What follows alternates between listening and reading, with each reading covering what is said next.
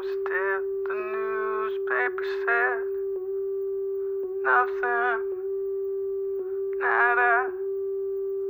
When I was dead, stones in my bed. Oh Lord.